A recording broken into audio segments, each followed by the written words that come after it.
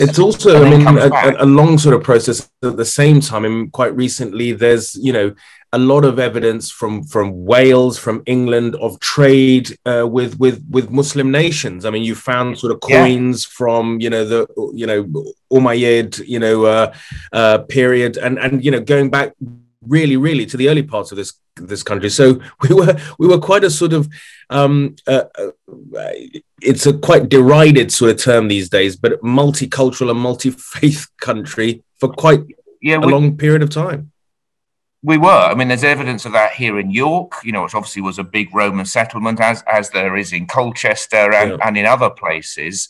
And I think the other thing, which I, I, I learned this actually when I when I went to Northern Ireland for the first time, um, that actually the, the, the trade routes by sea were often more secure than the trade routes by land. Mm. And so, um, and so, there's very, very close relationships between, say, Belfast and Glasgow and have been for centuries and centuries and centuries. And that's actually because the sea passage was much safer yeah, to go course. by sea. Yeah, actually, yeah. There were, there were, you know, you could see you could see the pirates and the bandits coming um, in the way that you couldn't when you travelled by road. So those old, those ancient seafaring, and of course, this nation has always been a seafaring nation. Yeah. Um, and therefore has had these links around the world, you know, which which we think are relatively new. Mm but actually are deeply ingrained in our history.